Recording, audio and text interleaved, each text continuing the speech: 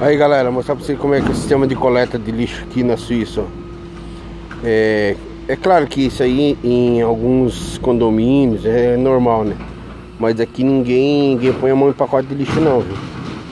É tudo depositado em container e ninguém põe a mão em nada de pacote de lixo.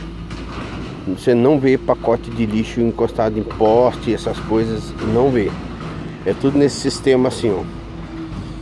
Container vem, é colocado nos containers, independente se é casa, se é condomínio ou o que seja.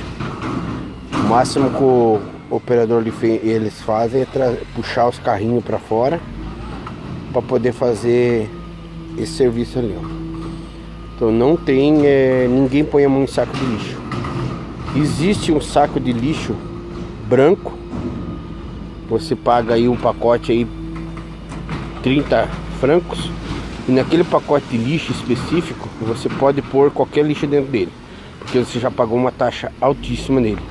Agora, caso contrário, tem que ser tudo separado. Tem que ser separado o pacote PET, vidro, essas coisas. E o pacote daí pode ser o pacote preto. Agora o pacote branco ele é específico você paga uma taxa alta, é comprar e pagar alto. E você pode pôr de qualquer lixo orgânico, sem separar, sem nada. Mas a maioria prefere não ter que pagar por isso e prefere separar, né? Então é feita essa triagem. A maioria prefere economizar reciclando, separando, de que ter que pagar essa taxa altíssima que é o, já é embutida nesse próprio saco branco de lixo. E aqui ninguém põe a mão no saco de lixo não, é como vocês estão vendo ali, ó independente se é condomínio, se é rua ou o que for.